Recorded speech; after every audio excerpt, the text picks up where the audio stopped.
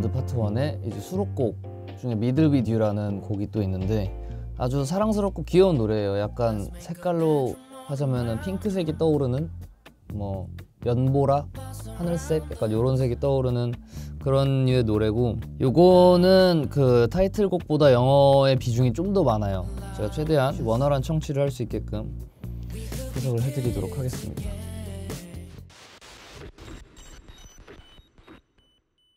자, 첫 줄. Let's make a bedroom on a mountain. 말 그대로 우리 침실을 만들자 산에. 좀 해석을 하자면 약간 뭐 어떤 환상적이고 이상적인 그런 되게 비주얼이 아름다운 그런 모습을 어떻게 연상케 하는 바로 다음에 나오죠. And look, uh, and look at all of us around 주변을 둘러보자. 그 산에 만들어서 주변을 둘러보자. 산에서 주변을 둘러보면 어때요? 경치가 좋죠? 경치가 좋다 We'll go from zero to a thousand 이거는 이제 말 그대로 해석하면은 우리는 0부터 1000까지 갈 거야. 직역하면 이건데 원래 의미는 하늘을 나는 기분일 거야. 하늘을 나는 기분일 거야. 하늘을 나는 기분 왜 하늘을 날까요? 산에 침실이 있으니까. 그리고 end up blowing our allowance. 돈을 다 쓰자. 우리가 가지고 있는 돈, 그 용돈, 뭐 차비, 뭐 식비, 뭐, 뭐 기타 등등 돈을 다, 다 써버리자 그냥 크, 탕진하자 그렇게 해석될 수 있죠. We could be kids again. 애처럼 돌아가는 거야. 우리 우리 아이처럼 뭔가 순수한 그런 마음으로 아이처럼 돌아가자. 돌아가. Get away, get away. 다 등지고 다 뭐 도망가서 스키니 딥 이게 처음에는 스키니 딥이 저도 정확하게 뭔지 몰랐는데 해석을 좀 더 들어보니까 이 속세로부터 벗어나서 그러니까 산에 침실을 만드는 만들자는 것부터 속세에서부터 벗어나자는 거잖아요. 스키니 딥 그러니까 다 벗고 수영하자 약간 그런 느낌이에요. 그러니까 알몸으로 수영하자. 근데 또 너무 알몸이면은 좀 그러니까 뭐 속옷 이나 뭐 반팔 반바지 정도는 입는 그런 느낌. 아 또 아이처럼 돌아갔으면 또 순수한 마음으로 다 벗고 수영할 수도 있는 건데 말이 그렇다는 거지. 진짜 아이가 된 건 아니니까. 수영모는 꼭 착용하는 게 좋을 것 같다. 그런 의미죠. Wake up somewhere we've never been. 이것도 말 그대로 wake up 일어나자. 어딘가 we've never been 한 번도 가본 적 없는 곳에서 그러니까 난생 처음 가본 곳에서 일어나자 띠용 하자는 거죠. 난생 처음 가본 곳에서 눈을 뜨면 띠용 여기가 어디지? 여기 난 어디? 난 누구?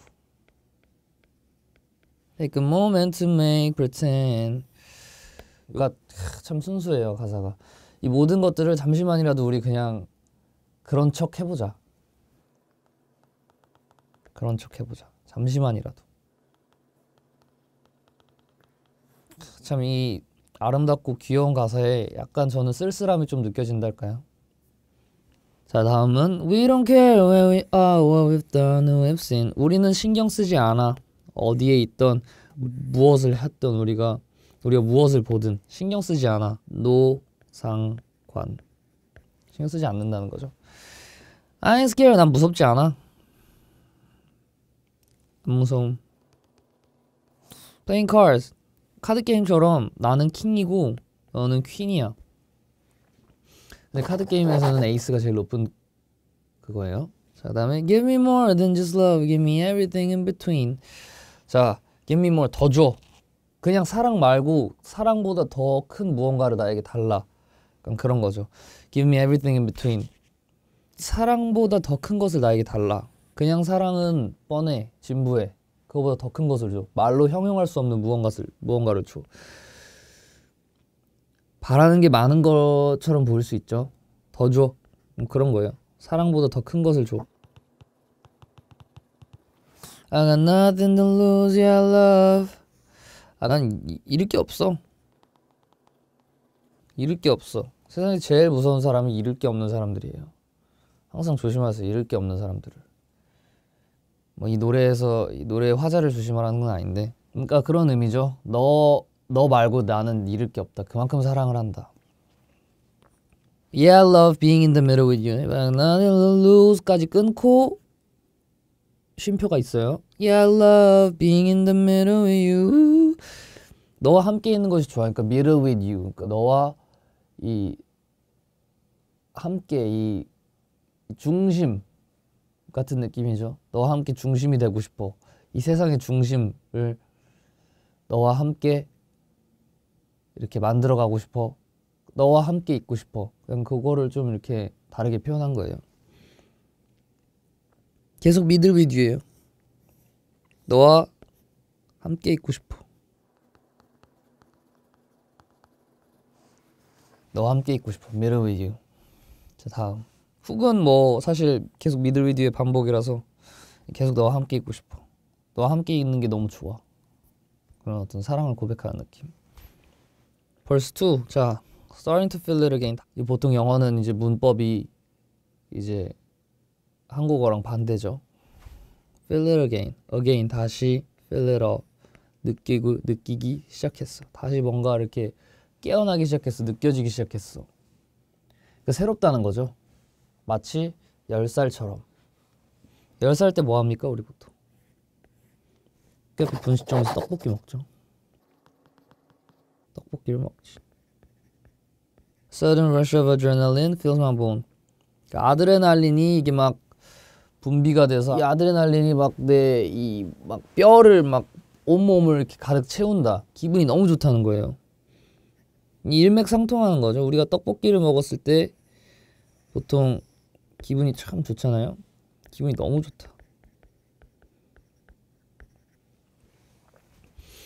It only takes one touch. 한 번의 터치가 내 영혼을 깨워. 한 번의 터치로 영혼을 깨워. It only takes one thing for me to lose control.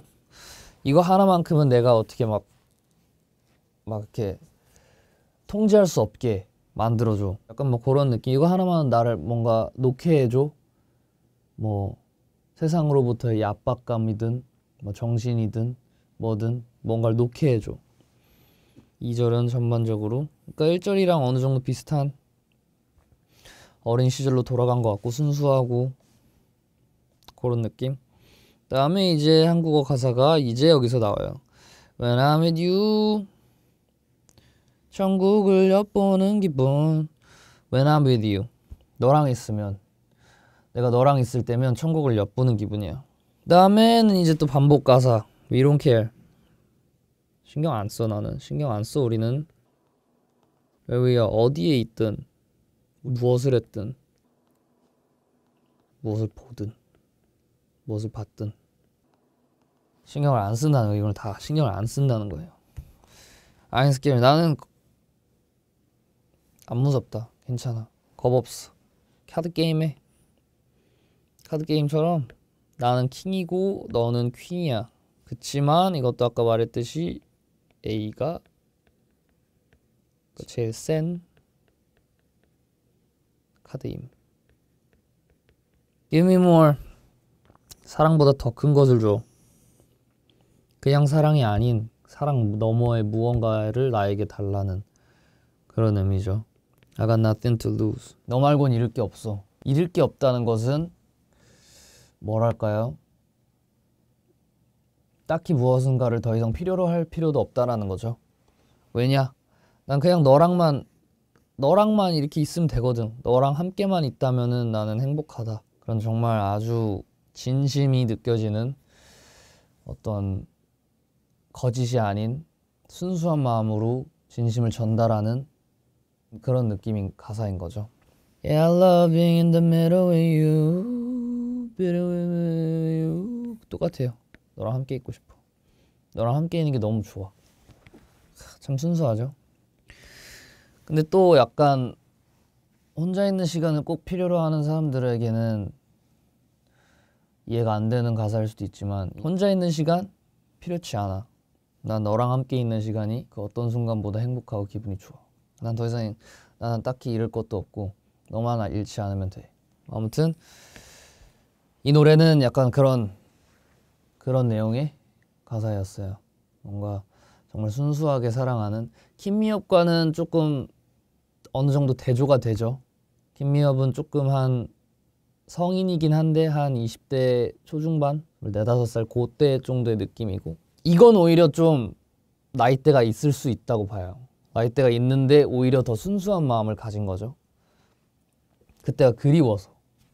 김미엽은 약간 본능이라든지 인간이 가진 갈망과 어떤 욕망, 욕구 이런 거에 좀 더 충실했다면 여기는 좀 더 사랑이라는 그 감정 자체에 좀 더 충실한 그런 가사였습니다.